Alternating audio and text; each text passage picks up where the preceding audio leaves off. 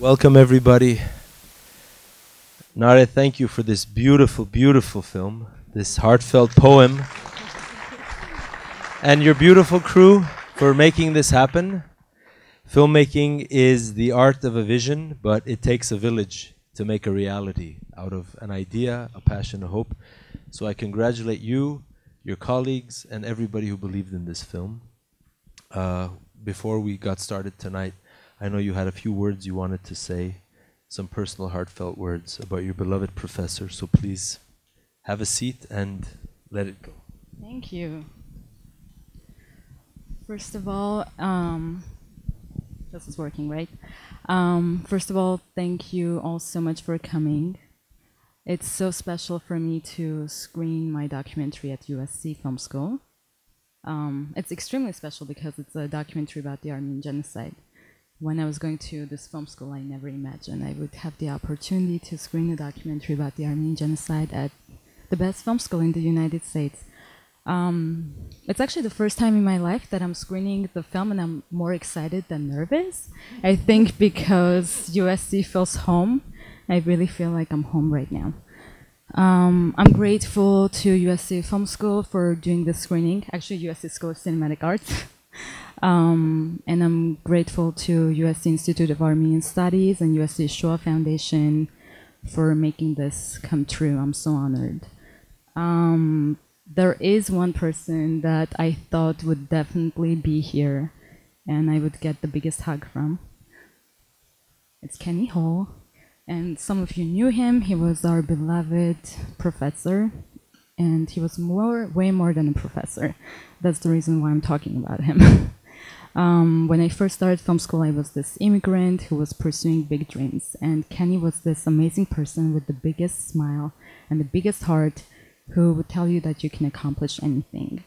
And um, he gave the best hugs. And I was so certain that I would come out tonight and I would go to that hall and Kenny would give me the biggest hug. And I will ask him if he was proud of the music because he was the reason why I met the amazing Sherry Chung, the composer of the film.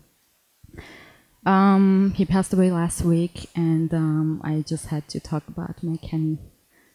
But now we can talk about the film. Thank you. Bravo.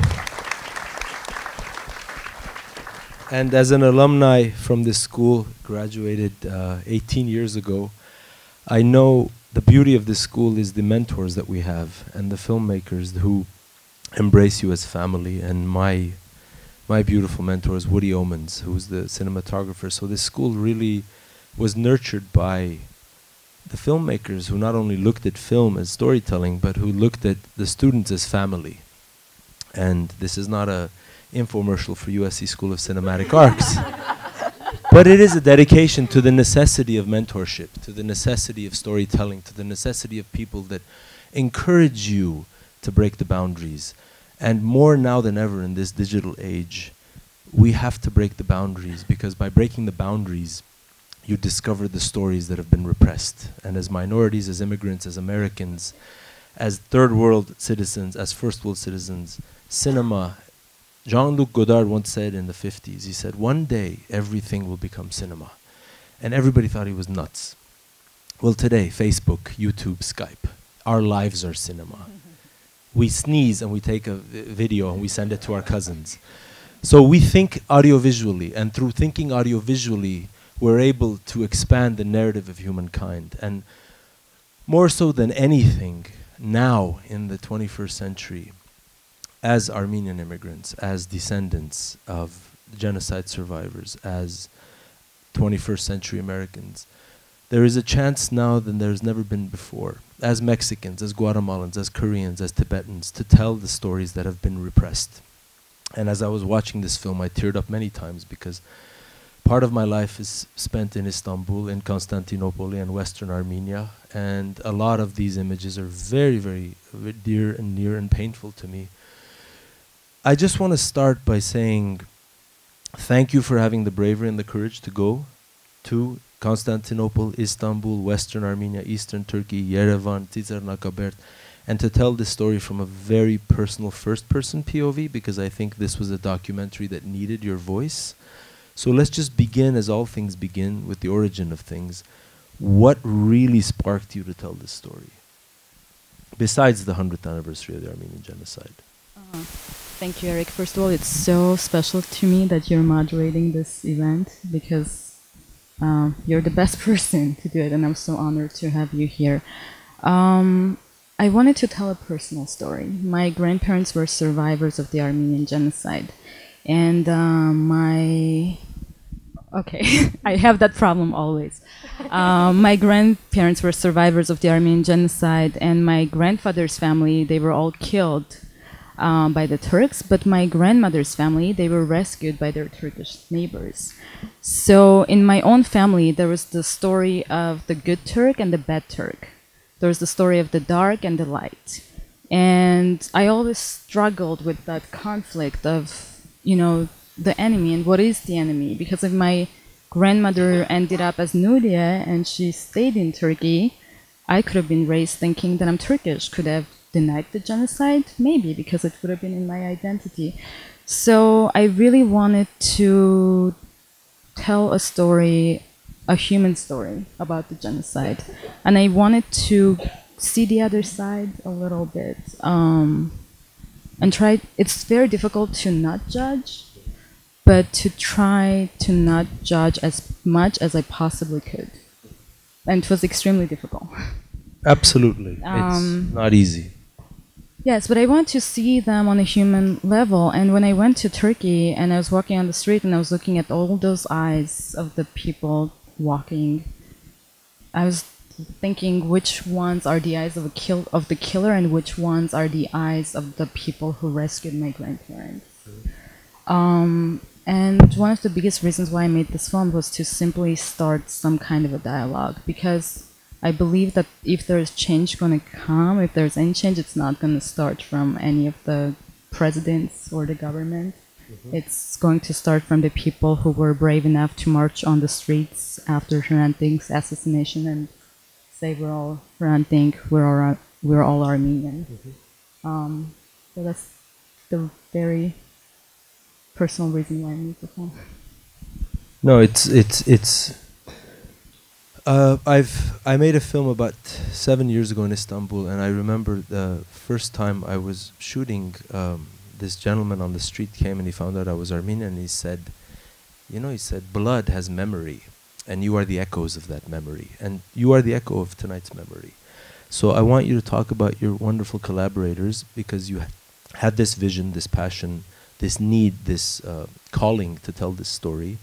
How did you come about making it a reality? Because filmmaking is originating with the vision of a filmmaker, but without the beauty and the passion and the sweat, the blood, the tears, the 4 a.m. emails and the 7:27 a.m. calls, you cannot get a movie done. So I just want to salute the crew that saluted you in helping you make this film, and please introduce your crew members. Thank you. Um, well, I wanted to make this film accessible to non-Armenians because I thought, as Armenians, we know the genocide by heart, we know exactly what happened, and we know it was a genocide. but non-Armenians don't know about it, and I wanted them to know about the genocide. And I thought what would be the best way for me to tell the story and I realized it would be the best way would be to have non-Armenian crew because they would make it accessible to non-Armenians because some things that I assumed were very clear to non-Armenians are not very clear, um, and the role of the editor was so extremely important for me because I think for documentaries, uh, the editor is like the second director. So I looked very, very, very long and I found the amazing Amy Rosner. Give it up for Amy.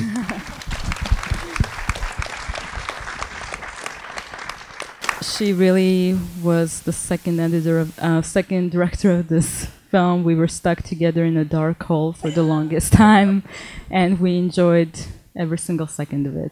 I think. um, then Iliana Guevara, who is the executive producer of the film, it's actually so special to have Iliana produce this film. And as we were standing in the back, I was looking at her and smiling as I can't believe it because Iliana and I we went to film school together. We met in 2006. 310 purple. we met in 2006 in Mardik Martin's class, who is this amazing Armenian screenwriter who wrote The Raging Bull, New York, New York, and many other amazing films. He was supposed to be here, but unfortunately, health didn't allow him to be here tonight. Um, yes, so that's Iliana Guevara, and she was. Bravo! And she was actually one of the main reasons why I made this documentary, but it's a very long story, so I won't bore you with it. And Cristina Malavenda, who was the head of production, and she's the executive producer on the film. She, I was so surprised because I went to her and I said, I want to make an Armenian genocide documentary, and she said, yes, let's do it, but let's find a woman. And I thought, okay, Christina, so I'm trying to make a documentary about the Armenian genocide. I'm trying to find an Turkish person with Armenian heritage who will be brave enough to talk about the genocide in front of the camera, and I'm having such a hard time. And on top of all that, you want it to be a woman, and you want her to speak English. Sure, sounds great. But thanks to Christine Malavenda, we found her. And I want to say special thanks to Rob Fried, who is the producer of the film. Unfortunately, he's not here. He's sending his son to school. Um, but he is an Oscar winning producer and he greenlit the project and he's so proud of the film and I'm so extremely grateful to him. And um, also, I have to say that Sherry Chung, who is the amazing composer, is here. And I want to say thank you so much, Sherry. Sherry, stand up. And I met Sherry at USC also. Thank you. So let's begin with the boat. And the boat that sails every movie is the character. How did you find Maya? And where did this inspiration come from to follow her on the 100th anniversary of the Armenian genocide to Yerevan from Istanbul? Uh, so I went to find someone who had Armenian and Turkish blood in her. Um, and um, I had different ideas, and it really all started with Iliana and I talking about System of a Down because they were going to have a concert in Armenia for the 100th anniversary, and Iliana was going to.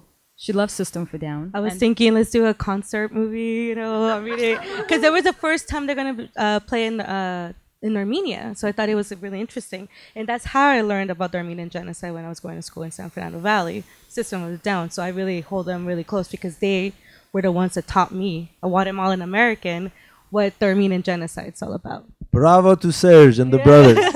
exactly. Are you related to Che by any chance? I I hope. I hope so. Okay. I'm re- we're related. yeah exactly. She has the fire. Um, so yeah, it started with System for Down, but then I was thinking the screamers have have been made already. I want to make something different. Thank you. I know that will help. Um, so I want to make something different, and I thought, okay, what if I make a film about all these Armenians going to Armenia for the 100th anniversary and show that you know this is a nation that survived um, our culture survived, the nation survived. But then I thought, not I come on, like dream bigger. And I thought what would be the best scenario, and I thought, okay, I always wanted to do this film, which originally was a narrative piece to write a film about a Turkish person who finds out that they have Armenian heritage. But then I thought, why not find this person and make a mm-hmm. documentary? Uh, I looked for her for a long time. I contacted many politicians, many historians in Turkey and in Armenia, and they were all telling me that I'm not going to be able to find anyone with Armenian heritage in Turkey who would be willing to talk in front of the camera. Mm-hmm. Um, so eventually, I found her in a Facebook group. It's it's interesting. I'd like to offer a little bit of context for the non- how many non-Armenians are there because I can see. Yes, it's necessary to offer a little bit of the context of um, how many. Do we have any Turkish friends in the audience tonight? Hoş geldiniz. Anybody? Unfortunately, not. Um,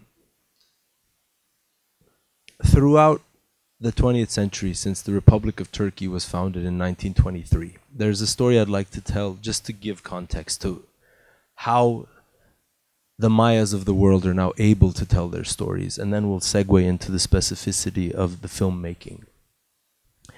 In 1923, when the Republic was founded, after the ashes of the Armenian genocide, after the ashes of the Pontic Greek genocide, the Aegean Greek genocide, the Assyrian genocide, the Chaldean genocide, this whole chapter of the genocide, it does not belong only to Armenia. You are gravely mistaken if you think that it was only the Armenians. This was a battle of empires becoming nation states. And when an empire becomes a nation state, it has to create a mythopoetic mythology to justify its existence. So when 1923, when the Turkish Republic was founded, Mustafa Kemal Ataturk, the founder of modern day Turkey, um, took under his wing a very, very smart, very educated gentleman by the name of Hagop Martayan, who he named Dilaçar, and Dilaçar in Turkish means language opener.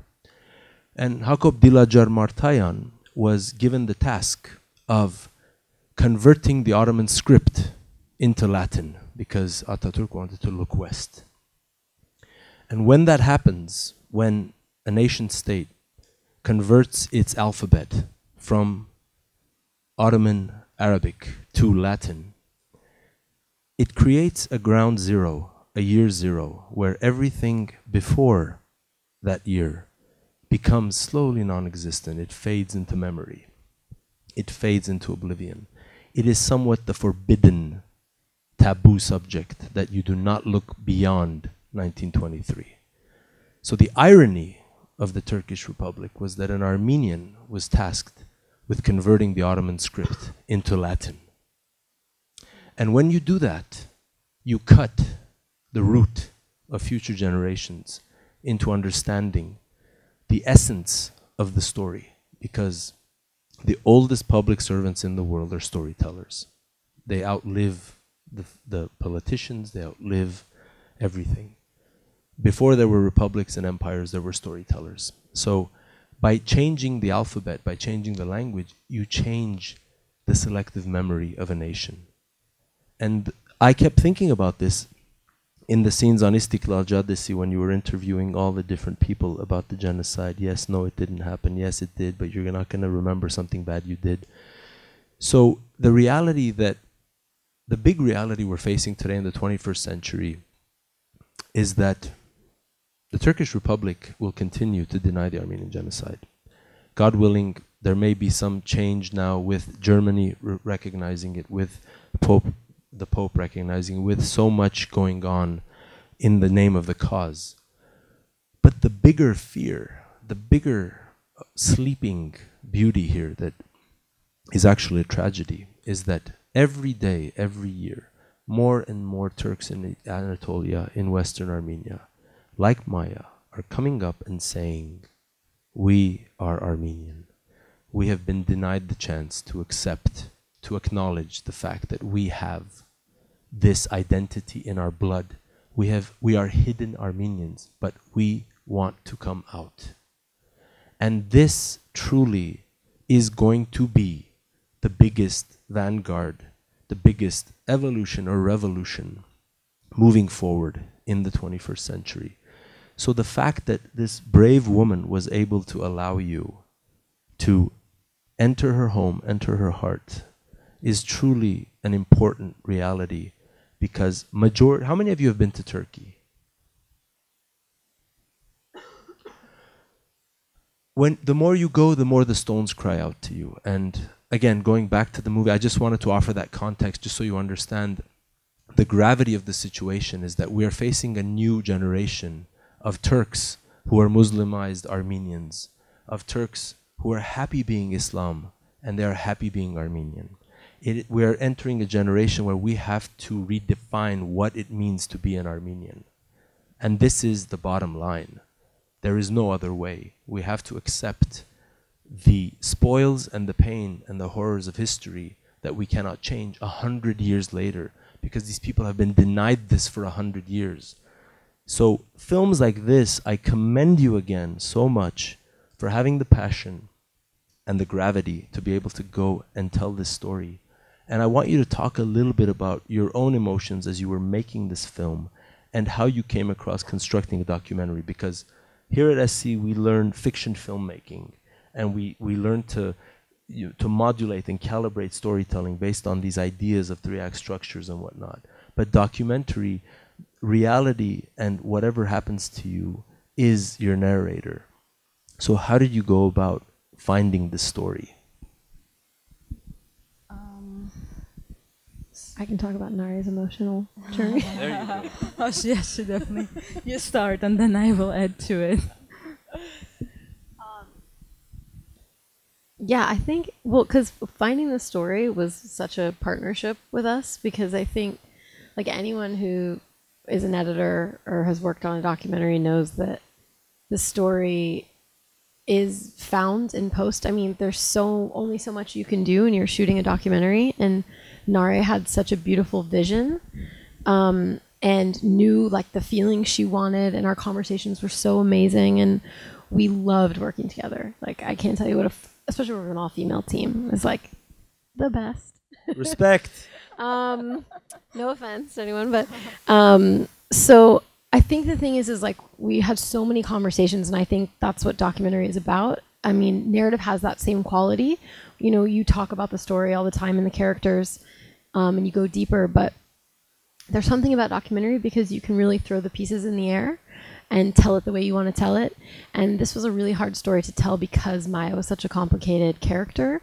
And I mean, I it's funny watching it now because there were so many iterations of this film and so many versions, and you know we had to have. I mean, there were days where we just had to walk and walk and talk, and we laid on the floor and we talked and we cried and we talked. You know, because and that's a beautiful process. And I would say, like, fr- from an outside perspective, it was really interesting because Nare had so many emotions going into the post production of this film, and she had been through so much, and then having Maya's character be as complex as she was and say it wasn't genocide, and I think there was a lot of mixed emotions, which I think everybody can understand. And so it was kind of like this really great I hope this is okay. I'm sharing this, but I think it was a really great like therapeutic experience for Nare. Definitely. sure. Yes, I always joke with Rob, the producer. I tell him this was a very, very expensive therapy. Thank you so much. um, but yes, exactly. Amy and I, we were stuck in this dark little room, and we did a lot of talking, and I did a lot of crying. Actually, now that I remember, because honestly, now I understand. I had to go through that whole year of so many different emotions that I experience with Maya and feeling her like so close to me because I felt like we were kind of like mirror images of each mm-hmm. other. Her going to Armenia for the first time, me going to Turkey for the first time. Our great grandparents, they were all from Sivas. Mm-hmm. So we really started at the same dot, but then we ended up at the complete other side mm-hmm. of this dividing line. Her denying the genocide and me fighting for the genocide. And when she denied the genocide, I really felt betrayed. Um, and I felt betrayed mainly for Nuria, actually. Because I thought, oh my god, like you told the story of your great grandmother, you gave the facts, you gave the facts, and then you can call it genocide. I felt so betrayed. But then throughout the process, it actually what I did, like I forgave her and I loved her and I was so grateful to her for being so brave and I completely understood her. I understood that denial has so many layers. Uh, I feel like a lot of us will look at them as monsters in a way because it's like they're denying. But no, denial has so many layers. And in a weird way, what I was thinking is, you know, I feel like we're stuck in different stages of grieving process. uh, they're stuck at the denial stage, and Armenians have crossed to the anger stage. So we're kind of stuck in the anger stage, but we still have to get to the healing stage. But we need each other to get to this healing stage. We really do. Um, it was a very long emotional process. Really, I went through so many emotions, and I'm so grateful to have such an amazing team to be there for me and see me cry and go through all this different emotions. How is the film, if it is, and different from what you initially envisioned it? Did you know what you were getting into, or is there? What did you discover along the way that you didn't expect, or did you? I did not know what I was getting into. The funny thing is, like, I um, I feel like I dived into the ocean, mm-hmm. but I didn't realize how deep it was. And when I came back, my mom she was saying, "Oh my god, I actually while you were doing it and you were working on pre-production and you were like, I'm going to do it, I'm going to do it." I was thinking, this girl is crazy. She's mm-hmm. not really understanding what she's doing. Mm-hmm. And in a weird way, I guess I was not because as the plane was getting closer to Turkey, I was fear- feeling like this extreme fear, and it wasn't even fear. It, I can't explain it because, as you said, it's in our blood, and I really believe that it's in our blood because there wasn't anyone with a knife or a gun pointed at my head. I knew no one was going to kill me, but there was this unexplainable fear. Uh, and when I got to Turkey, I was actually the next morning. the next morning, I woke up, and Iliana and I we were in the same room because she also was the second camera on the film, um, and I was literally shaking. I was literally shaking. I have never experienced that in my life, and I was shaking so bad. She crawled into my bed. and it was a tiny little bed. She's like, "Can I cuddle with you?" Not only And I there was a crawled into scene in the bed, film, but I too. asked her to hug me. There was a scene about this too in the film. Scared. Uh, I was, yeah, I was extremely scared to be there. Huh? Oh, thanks. Access of the mic. Axis Wow, of the are you a mic. sound designer? She is, That's uh, she is my sound professor from Valley College. Thank you. Access of the mic. Access of the Axis mic. Thanks. How are we doing on time? Do we have some time? Yes. So there's so many questions to ask. I encourage all of you to please ask away here during the reception.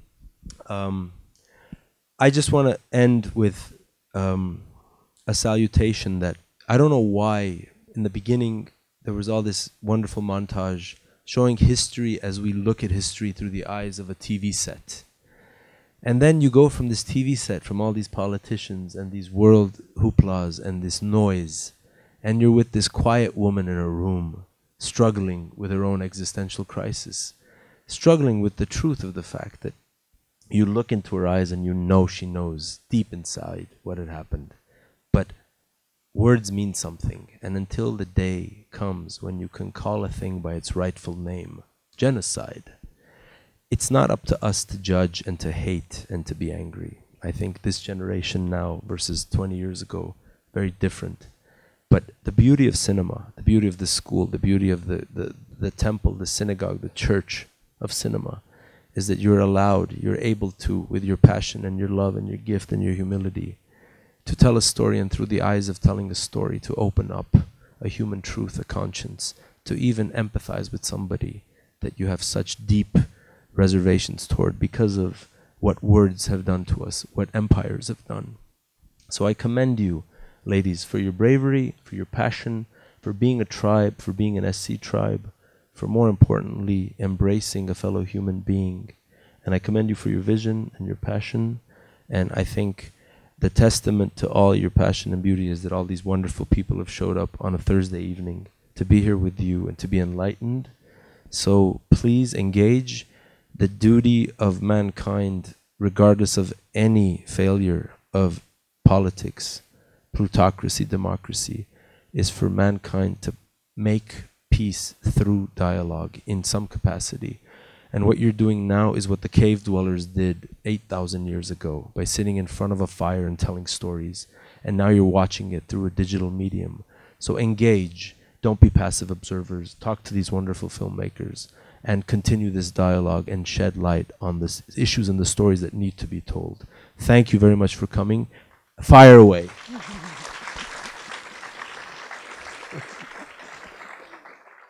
I talk too much, but I hope it makes all sense. So please raise your hands. And yes, ma'am.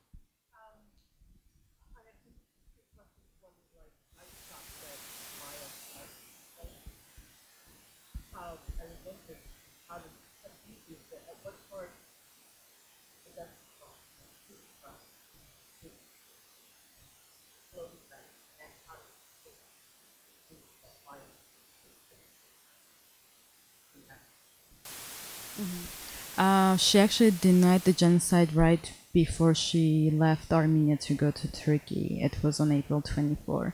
Um, I dealt with it very. It was very difficult for me. It, I really felt like I was betrayed. Um, because as Eric asked, I guess I didn't really answer the question, but I was expecting to make a very different film about this Turkish woman with Armenian heritage who goes to Armenia for the first time. But I think this was way more interesting, to be honest with you. Now I'm kind of grateful. I think that was the treasure um, because it really shows the conflict. And what I really wanted to do, I wanted to humanize the conflict. Um, there's a lot of history that is written, there are numbers, but I think as human beings, we engage with human beings. And and while we were making the film, I was also always telling Amy, this is not a genocide documentary. The genocide is the backdrop, but it's about identity. Um, and that's one of the reasons why the 1915 section is only 3% of the film, because also I feel like as audience, we, um, we lose our attention when it's too much black and white images and when it's too heavy, because we, as human beings, we shut down. Um, sorry, but back to your question. So she, when she denied the genocide, it was extremely difficult for me, and I didn't want to make the film.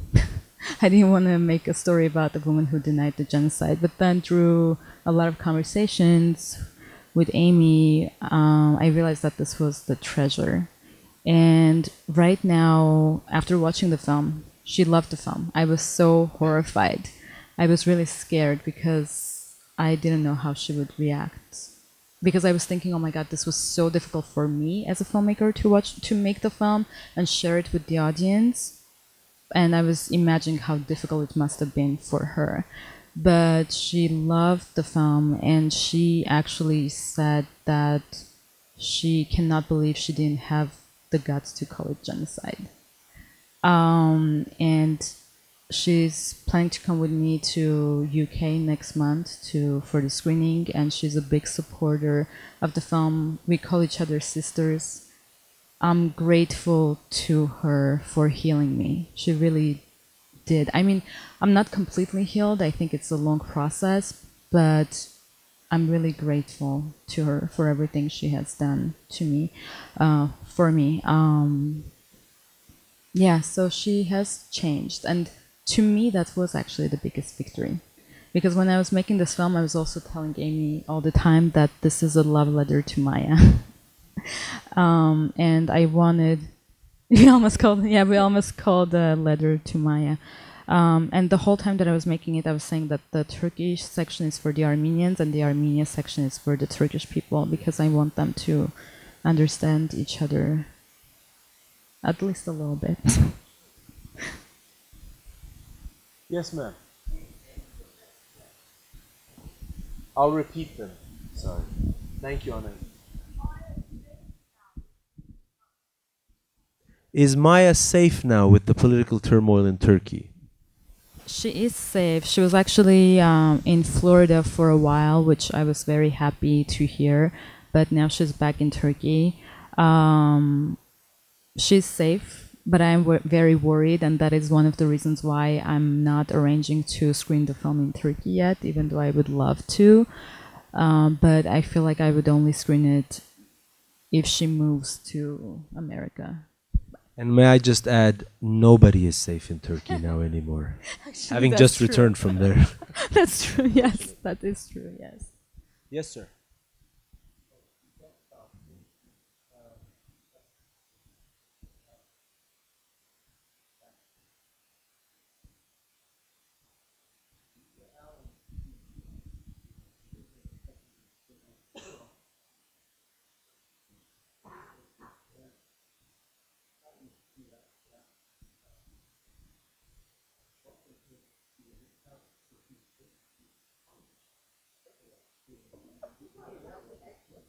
No. Did everybody hear the question? Uh, we didn't know. We went like we actually didn't. I didn't know the rule, but Nada was like, "Let's go," and I was like, "Let's do it," and we went. Honestly, um, we had a male um, cinematographer with us, Jeff Dolan. He was Yeah. the main cinematographer.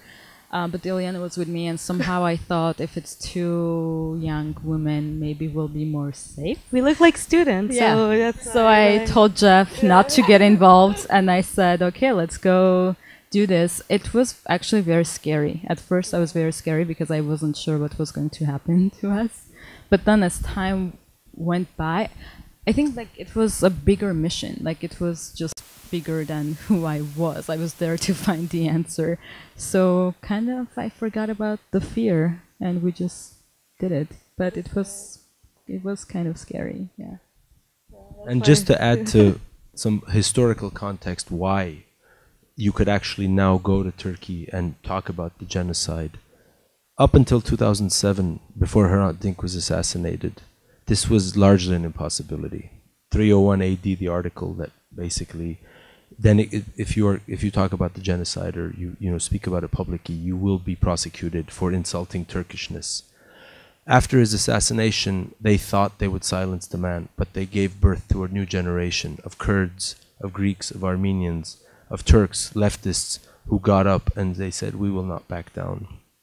Now, that is a micro minority. By no means, I want you to think that Turkey is on the cusp of becoming a democracy. It is not. That is a micro minority of artists and leftists and hardcore human rights activists that are a micro minority, and I stress micro minority. But it is it is the micro minority that's the drop on the stone that cracks the stone. So the reason why you're able to actually the genocide is a public secret. You know, majority of the people who are educated know what had happened and they're learning what had happened. And thanks to the Turkish historians who are talking, like Taner Akçam, like Umit Kurt, Umit Ungor, you know, like our friends Khachik Muradian, all our brothers and sisters who are actually doing these conferences, like the Hrant Dink Foundation, they're educating the public through dialogue, through these stories. So the reason why these ladies were able to actually not be uh, arrested or not be taken in is because that, you know, that windshield has been cracked by a little pebble and slowly it's spiderwebbing. And now there, the, the intelligentsia is able to talk about this, not freely by any means, but it is not as taboo as it was before 2007. Oh, and by the way, um, sorry to get the permit for the film because we had to get, have a permit to film. There was this Turkish production company who took us under their wing, and they did it under their production company's name. They didn't even mention my name because I was literally filming two days before April 24. Um, so they didn't want me to have police following me. So he did it under his production company's name all the help that I got from the Turkish people was amazing. Uh, that was a healing experience too, to be honest with you. And I'm so, so grateful because I feel like the Turkish people who accept the genocide, they go above and beyond to apologize for what their ancestors have done 100 years ago. And that is too, that's so sweet. Two more questions, please, because I feel like the wine is waiting for everybody outside. Yes, sir.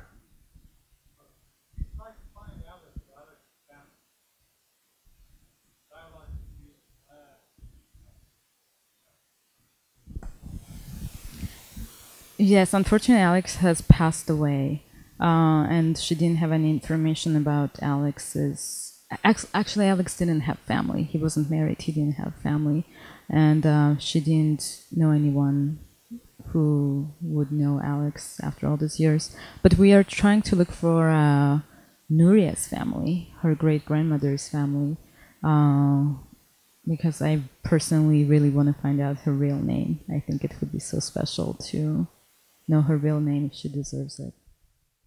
Last question. I'll take $5, $10, 20 25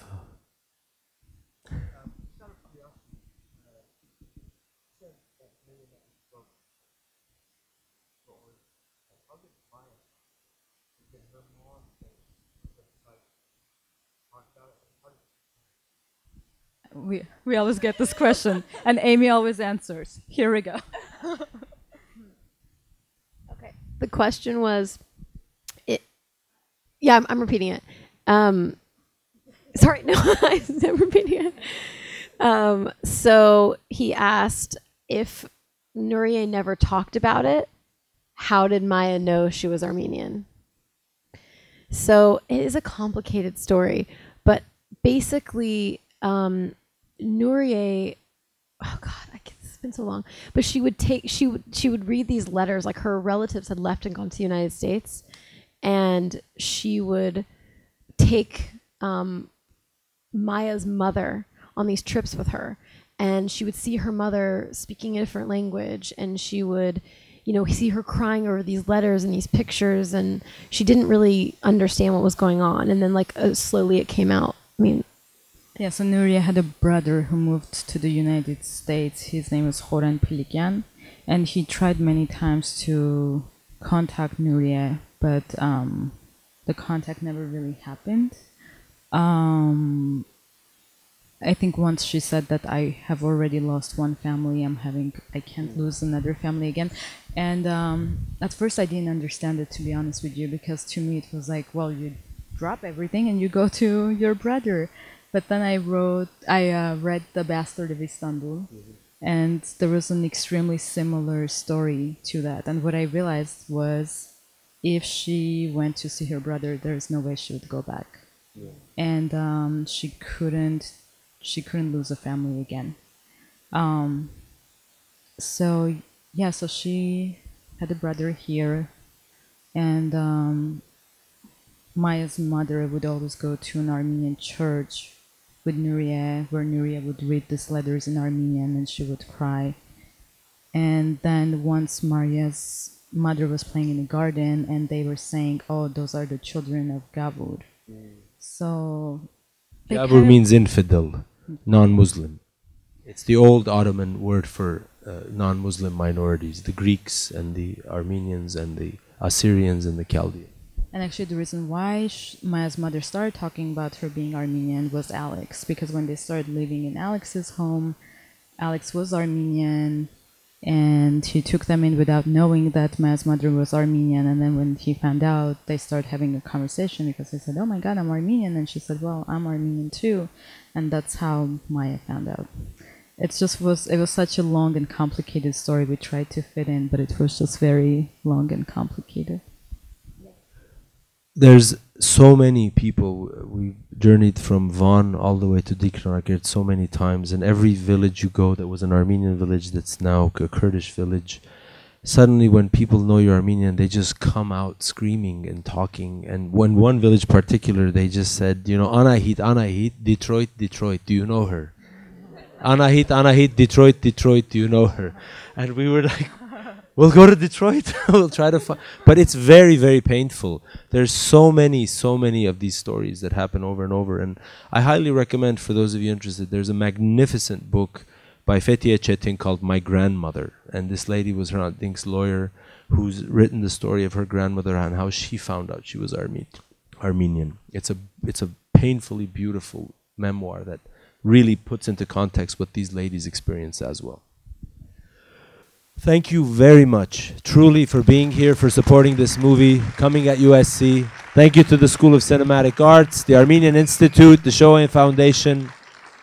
Thank you for making movies matter.